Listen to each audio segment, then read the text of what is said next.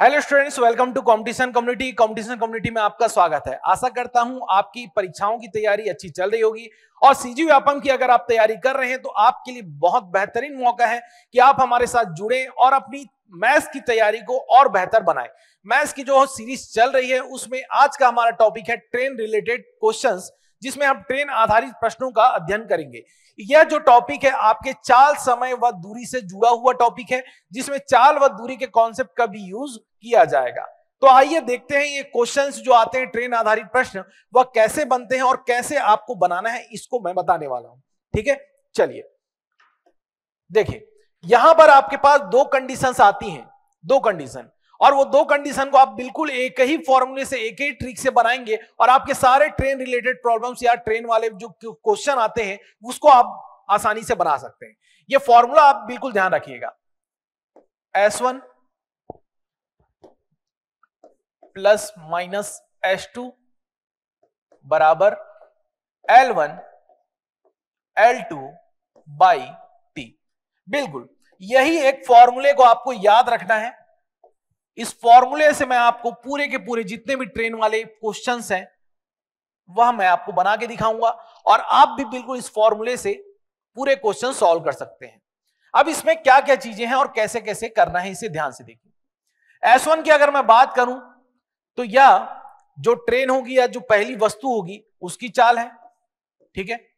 पहली वस्तु की चाल, पहली वस्तु की चाल है ठीक?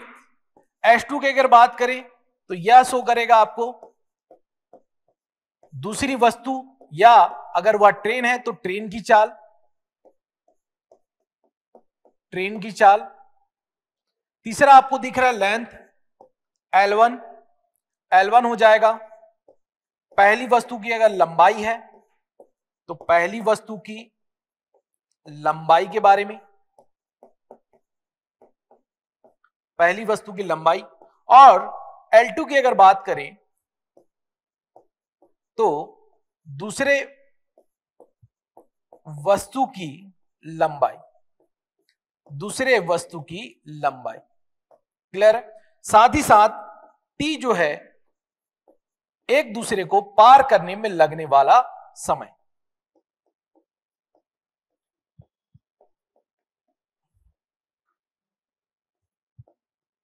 द्वारा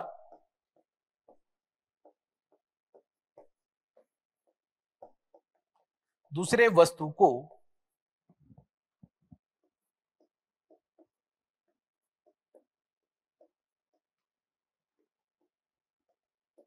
लगने वाला समय।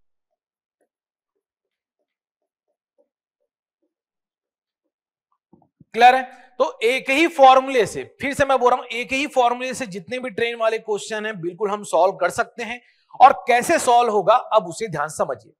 ये हो जाएगा आपका क्या? दो जो ऑब्जेक्ट होंगे, उनकी एक स्पीड है। साथ ही साथ L1 L2 जो है, उनकी क्या होगी? लेंथ होगी। और पार करने में, एक वस्तु दूसरे वस्तु को पार करने में जो समय लगेगा, वह क्या होगा? यहाँ पर टी होगा।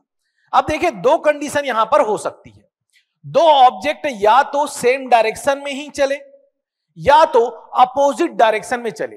तो दो कंडीशन यहाँ पर होंगी तो दो कंडीशन के आधारित यहाँ पर मैंने लिखा है, यहाँ पर एसो चाल में आप देख रहे हैं कि प्लस और माइनस लगा हुआ है। तो प्लस का यूज़ कैसे करना है माइनस का यूज़ कब करना है, उसे देखिए। अगर ट्रेन या दो ऑब्जेक्ट पहला केस यदि यदि दो वस्तुएँ, या अगर कोई ट्रेन है, दो वस्तुएँ या ट्रेन, एक ही दिशा में गति करे, एक ही दिशा में या सेम डायरेक्शन में चले सेम डायरेक्शन में चले तो आपको फॉर्मूला क्या हो जाएगा यहाँ पर? फॉर्मूला हो जाएगा S1 one minus S two बराबर L1 one plus L two by T clear है? तो आपको क्या कर देना है केवल, ये चाल में क्या हो जाएगा यहाँ पर? S one minus S two बराबर L one plus L two by T clear है? अगला केस क्या है इसी में? याद रखेंगे, यदि यदि यही दो वस्तुएँ, यदि यही दो वस्तुएँ विपरीत दिशा में चले विपरीत दिशा अपोजिट डायरेक्शन में अगर चले, विपरीत दिशा या अपोजिट डायरेक्शन में यदि चले, उस केस में क्या होगा? इनके चालों का योग होगा। S1 one plus S two बराबर L1 one plus L two by T clear है? ये आपका दूसरा फॉर्मूला दूसरा फॉर्मूला बिल्कुल एक ही फॉर्मूले को मैंने दो रुपए में बताया। एक केस वह जब यहाँ पर, जब यहाँ पर दो वस्तुएँ क्या है सेम डायरेक्शन में चले तो सेम डायरेक्शन में चाल क्या हो जाएँगी, घट जाएँगी, और जब दोनों वस्तुएँ क्या हो, अगर अपोजिट डायरेक्शन में अगर चले अपोजिट डायरेक्शन में अगर चले तो उस केस में क्या हो जाएगा यहाँ पर, उनके चाल जुड़ जाएँगे। आप देखिए यहाँ पर उनकी लंबाइयों में यहाँ पर कोई फ़र्क नहीं है। लंबाई में यहाँ पर क्या है प्लस माइनस आपको नहीं करना है।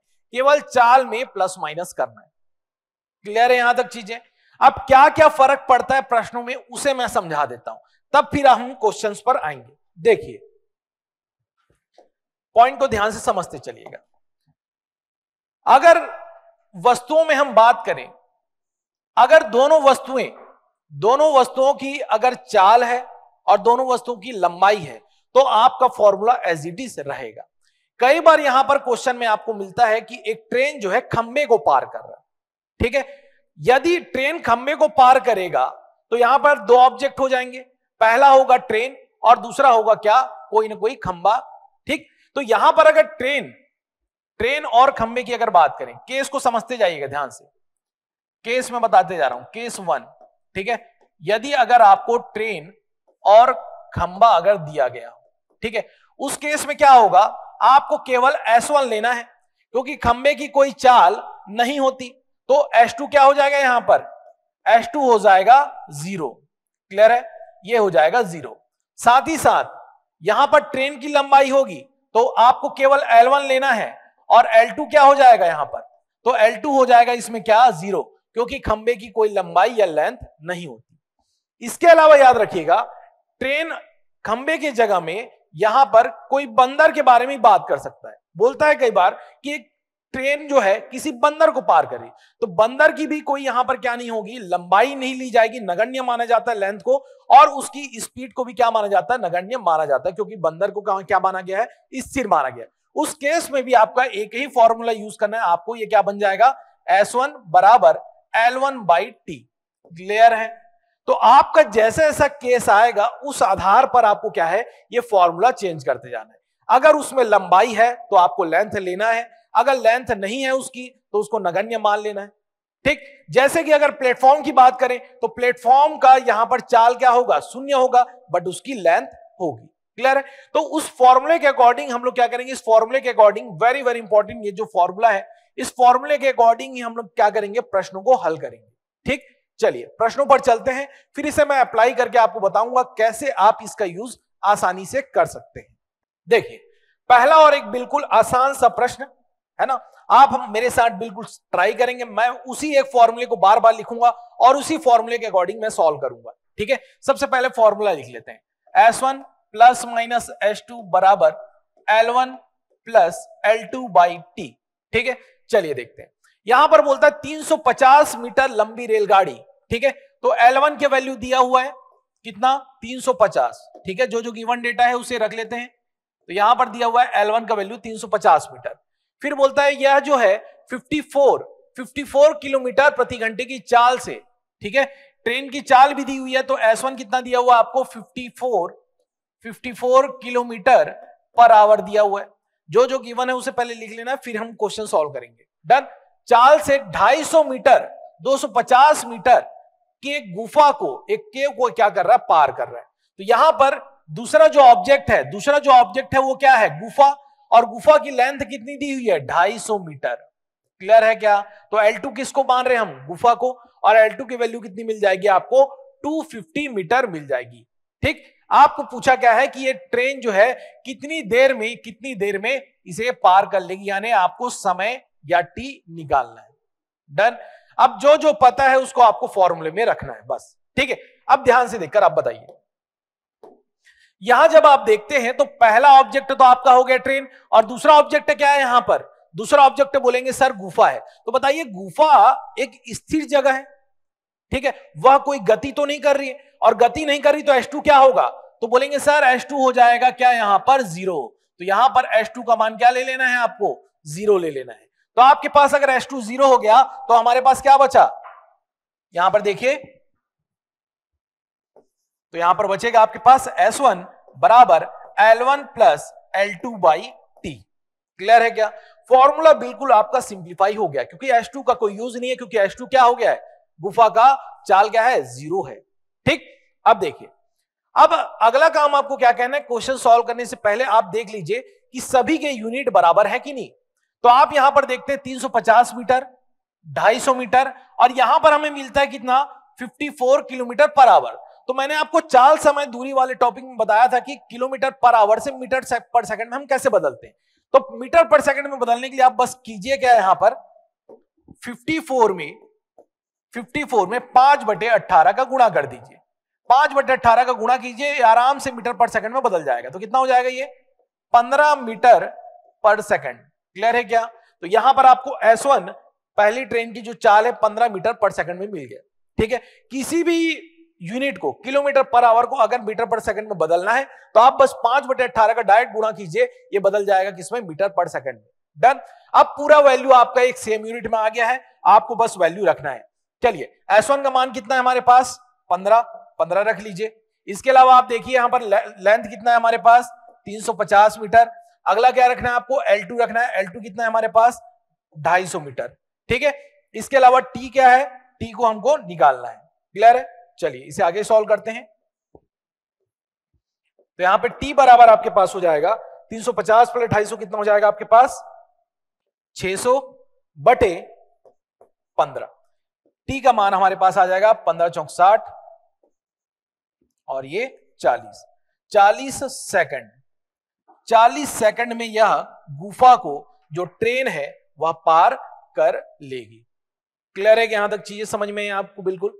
ठीक है? तो यहाँ पर 40 सेकंड में एक ट्रेन जो है गुफा को पार कर लेगी डन। तो मैंने इस फॉर्मूले का यूज़ किया और फॉर्मूले के अकॉर्डिंग बस क्वेश्चन को सॉल्व कर लिया। अब देखिए, आगे और क्वेश्चन आएँगे, ठीक है? ये तो एक गुफा थी, इसके अलावा प्लेटफॉर्म वाले क्वेश्चन, दो ट्रेन क्रॉस कैसे होते हैं, ये पूरे क्वेश्चन हम सॉल्व करेंगे, ठीक है? बिल्कुल, साथ में जुड़े रहिए, किसी प्रकार का डाउट है तो कमेंट सेक्शन में आप पूछ सकते हैं, ठीक? चलिए। प्लेटफॉर्म के अकॉर्डिंग अगर हम सॉल्व करें, प्लेटफॉर्म के अकॉर्डिंग तो प्लेटफॉर्म को जो ट्रेन है, प्लेटफॉर्म को जो ट्रेन है, करीबन 10 सेकंड में पार कर रही है, ठीक है? और ट्रेन की लंबाई यहाँ पर दे दी गई कितनी? 120 मीटर। उसके अकॉर्डिंग अगर हम देखें तो S1 बराबर, चलिए देखते हैं अगला क्वेश्चन। अगला क्वेश्चन है हमारे पास, एक रेलगाड़ी 120 मीटर लंबे प्लेटफॉर्म को 10 सेकंड में तथा एक खंबे को 4 सेकंड में पार करती है। रेलगाड़ी की लंबाई तथा रेलगाड़ी की चाल हमें ज्ञात करना है। अब ध्यान से देखिए यहाँ पर रेलगाड़ी के बारे में बात किया गया कि रेलगाड़ी जो 120 मीटर लंबे प्लेटफॉर्म को पार कर रही है। यहाँ पर कितने वस्तुएँ हैं, कितने ऑब्जेक्ट हैं, उसे देखिए। तो पहला बोलेंगे, सर, यहाँ पे एक रेलगाड़ी है। दूसरा, यहाँ पर प्लेटफॉर्म की बात की गई है। तीसरा, एक पोल की बात की गई है। ठीक? तीन ऑब्जेक्ट हैं, इन तीन को ऑब्जेक्ट वाले क्वेश्चन को आप कैसे सॉल्व करेंगे? ध्यान से देखिए, बिल्कुल वही एक फॉर्मूले का यूज़ करने वाला हूँ। इस फॉर्मूले के अलावा किसी एक फॉर्मूले का यूज़ नहीं करूँगा। ठीक है? ध्यान से देखिए। यदि अगर ट्रेन जो है, जब प्लेटफॉर्म को पार करता है, उस केस की अगर हम बात करें, ट्रेन अगर किसी प्लेटफॉर्म को अगर पार करे, उस केस की अगर हम बात करें तो फॉर्मूला आपका वैसा ही है। ठीक? फॉर्मूला क्या है हमारे पास? S one plus minus S two बराबर L one plus L two by T ठीक है? गिवन डेटा देख लेते हैं क्या क्या हमारे पास गिवन डेटा है। तो गिवन डेटा में अगर हम देखें तो आप कहेंगे, सर, यहाँ पे ना ट्रेन की स्पीड दी गई है, ना प्लेटफॉर्म की स्पीड अब बताइए प्लेटफॉर्म की स्पीड यहाँ पर होगी क्या? तो आप कहेंगे, सर, ये प्लेटफॉर्म की स्पीड यानी एस क्या हो जाएगा? इस बार दूसरे ऑब्जेक्ट का स्पीड ज़ीरो हो जाएगा। इसके अलावा ट्रेन की लेंथ दी गई है क्या? तो ट्रेन की लेंथ नहीं दी गई है, इसलिए हम क्या मानेंगे, उसे L1 मानेंगे। साथ ही साथ प्लेटफॉर्म की लेंथ दी हुई है कितनी? 120 मीटर है ना L2 की लेंथ हमें L2 की वैल्यू पता है। साथ ही साथ लगने वाला समय हमें दिया गया कितना? 10 सेकंड तो जो जो आपको वैल्यू पता है, उसे हम लोग यहाँ पर रख लेते हैं। ठीक? तो S1 बराबर आपके पास हो जाएगा S2 क्योंकि ज़ीरो हो गया। L1 की वैल्यू हमें क्या है? नहीं पता तो L1 प्लस L2 कितना पता है हमें? लेंथ कितना पता है प्लेटफॉर्म का? 120 मीटर। लगने वाला समय कितना है हमारे पास? 10 सेकंड का। ठीक है? तो इसको हम इक्वेशन क्या मान लेते हैं? वन मान लेते हैं। तो एस की वैल्यू क्या मिली? L one plus one by ten अगला हमारा काम है, क्या है? कि बोल रहा है कि वही ट्रेन सेम ट्रेन है सेम ट्रेन है, वो क्या कर रही है? पोल को पार कर रही है। तो पोल के केस में या खंबे के केस में क्या होगा, इसे देखो। फॉर्मूला हमारा वही यूज़ होने वाला है S one plus minus S two बराबर L one plus L two by T done यहाँ तक चीज़ें। अब बताइए, पोल के बारे में अगर मैं बात करूँ तो पोल क्या है? स्थिर है कांस्टेंट है। तो बताइए, उसकी स्पीड क्या हो जाएगी? ज़ीरो ठीक? इसके अलावा पोल की कोई लेंथ होगी क्या? तो आप कहेंगे, सर, पोल की कोई लेंथ नहीं होगी, उसे हम क्या मानेंगे? ज़ीरो मानेंगे। तो यहाँ पर आपको फॉर्मूला क्या बन जाएगा? तो फॉर्मूला बन जाएगा आपका एस वन बराबर एल वन बाई टी ठीक है? अब यहाँ पर कौन कौन सी वैल्यू दी गई है बताइए। ट्रेन की स्पीड पता है क्या आपको? आप बोलेंगे, सर, नहीं पता। लेंथ पता है ट्रेन की? नहीं पता। बट यहाँ पर पोल को पार करने वाला समय पता है, इसलिए हम लोग क्या करेंगे, यहाँ पर वैल्यू रख देंगे। तो एस वन बराबर एल वन बटे चार सेकंड क्योंकि पोल को पार करने का समय हमें पता है। इसे इक्वेशन क्या दे देते हैं? टू दे देते हैं। डन अब इक्वेशन वन और टू को देखिए। From equation one and two equation one and two ठीक है? अब देखिए S1 और S1 क्या है? बराबर है। तो लेफ़्ट हैंड साइड दोनों बराबर होने के कारण हम यहाँ पर क्या लिख सकते हैं? L1 plus one twenty upon ten बराबर L1 बटा चार। ठीक है? इसे सॉल्व कर लेते हैं यहाँ पर। तो सॉल्व करेंगे, कितना मिल जाएगा हमें ये? क्रॉस मल्टीप्लाई करेंगे फोर एल वन बारह चौक अड़तालीस चार सौ अस्सी बराबर टेन एल वन। क्लियर है? इसको एक साइड ला लेते हैं एल वन को। तो सिक्स एल वन बराबर फोर एट्टी और एल वन की वैल्यू आ जाएगी यहाँ पर एट्टी मीटर, अस्सी मीटर अस्सी मीटर। क्लियर है क्या? ठीक है? ये मिल गया आपको लेंथ किसकी? किसकी लेंथ मिल गई? यहाँ पर ट्रेन की लेंथ आपको 80 मीटर लेंथ मिल गई। अब देखिए अगला काम आपको क्या पूछा है? ट्रेन की चाल क्या होगी? ट्रेन की चाल। तो ट्रेन की चाल क्या माना है हमने? एस वन माना है। तो एस वन बराबर क्या होगा? देखिए इक्वेशन नंबर टू से देखिए। एस वन बराबर क्या है? एल वन बाई फोर और एल वन की वैल्यू कितनी है? एट्टी तो यहाँ पर एल वन का मान रखते हैं एट्टी बाई फोर और ये मिल जाएगा आपको कितना? Twenty metre per second metre per second अब देखिए, यहाँ पर पूछा किसमें है आपको? चाल को बोला है कि किलोमीटर पर आवर में बताइए। किलोमीटर पर आवर में। तो यहाँ पर आप याद रखिए एक कॉन्सेप्ट मैं आपको फिर से रिवाइज करा दे रहा हूँ, ठीक है?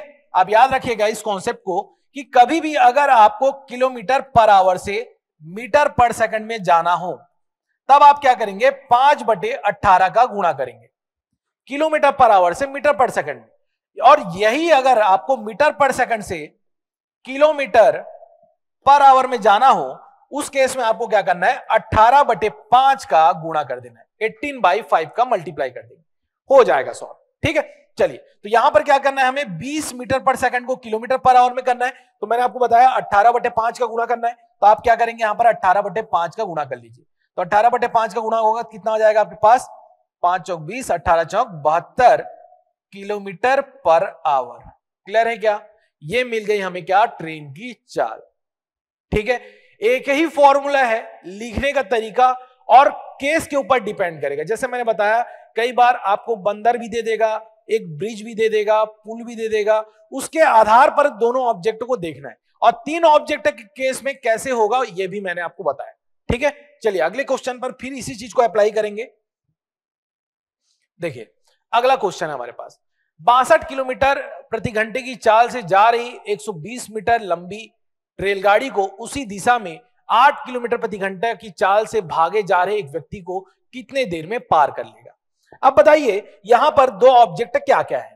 तो आप बोलेंगे, सर, पहला ऑब्जेक्ट है रेलगाड़ी और दूसरा ऑब्जेक्ट है क्या? एक व्यक्ति। और कोई तीसरा ऑब्जेक्ट आपको नज़र आ रहा है? तो आप बोलेंगे, सर, नहीं नज़र आ रहा है। मतलब एक ही सिंगल फॉर्मूले से हम लोग इसको सॉल्व कर लेंगे फिर से। तो यहाँ पर फॉर्मूला क्या है हमारा पर एस वन एस टू बराबर L one plus L two by T clear यहाँ तक? अब ये बताइए देखकर कि व्यक्ति जो है ट्रेन की दिशा में भाग रहा है कि ट्रेन के विपरीत दिशा में? ध्यान से देखिए, ट्रेन की दिशा में भाग रहा है कि विपरीत दिशा में? तो यहाँ पर देखिए, यहाँ पर लाइन लिखा हुआ है, जब वो ट्रेन जा रही है 120 मीटर लंबी रेलगाड़ी को, उसी दिशा में सेम डायरेक्शन में क्या कर रहा है सेम डायरेक्शन में व्यक्ति को पार कर रहा है। तो मैंने आपको बताया था, जब भी सेम डायरेक्शन की बात आएगी सेम डायरेक्शन एक दिशा की जब बात आएगी, तब आपको फॉर्मूला क्या हो जाएगा यहाँ पर? ये क्या हो जाएगा? S one minus S two बराबर L one plus L two by T clear है?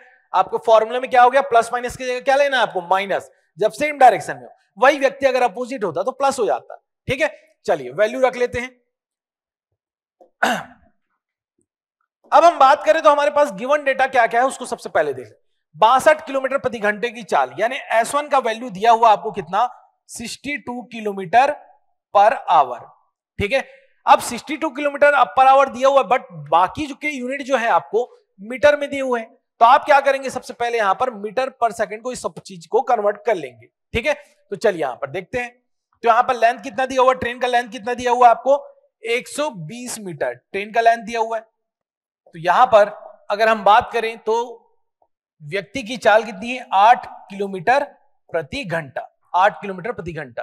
ठीक है? इसके अलावा हम बात करें तो L2 कितनी हो जाएगा, व्यक्ति की लेंथ कितनी हो जाएगी? ज़ीरो हो जाएगी। डन फॉर्मूले में अब रख लेते हैं।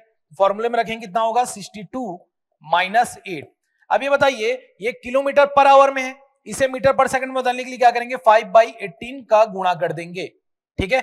साथ ही साथ लेंथ कितनी है हमारे पास? 120 प्लस L2 की वैल्यू कितनी हो गई? ज़ीरो लगने वाला समय कितना? टी ठीक है? 62 टू माइनस एट कितना हो जाएगा आपके पास? 54 four into five by eighteen बराबर 120 बटा टी ठीक है? इधर सॉल्व कर लेते हैं।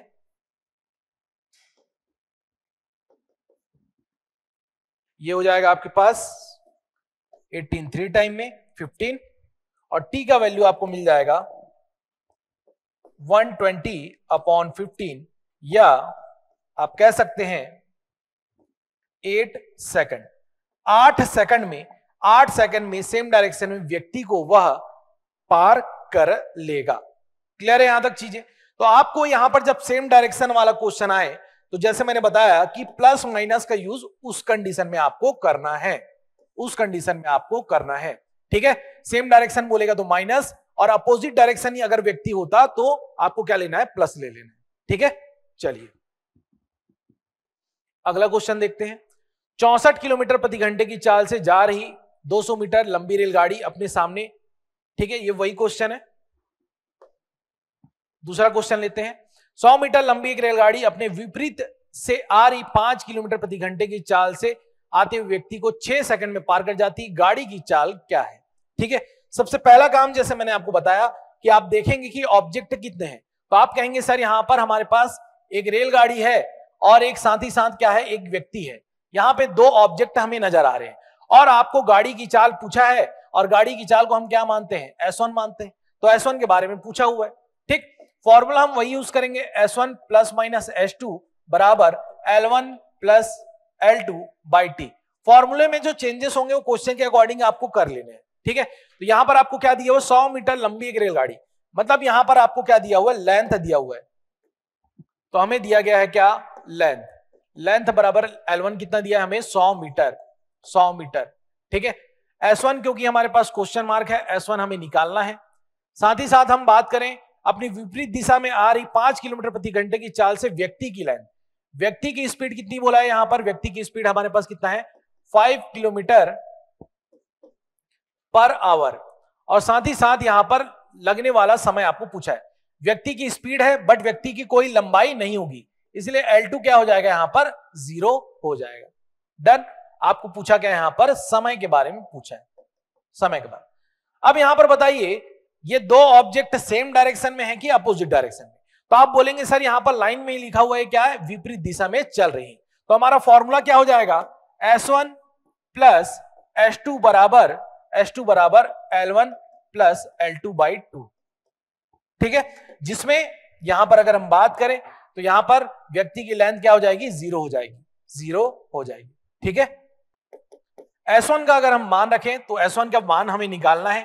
प्लस एस टू की वैल्यू कितनी है हमारे पास? फाइव किलोमीटर पर आवर ठीक है? फाइव किलोमीटर पर आवर अब क्योंकि किलोमीटर पर आवर में है, इसीलिए हम क्या करेंगे इसमें? पाँच बटे अट्ठारह का गुणा भी कर लेंगे। डन यहाँ तक चीज़ें। ठीक?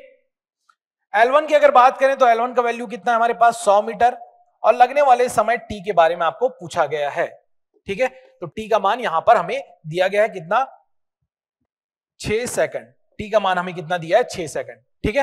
तो एस वन प्लस फाइव बराबर सौ बटा छ इंटू अट्ठारह बटा पाँच.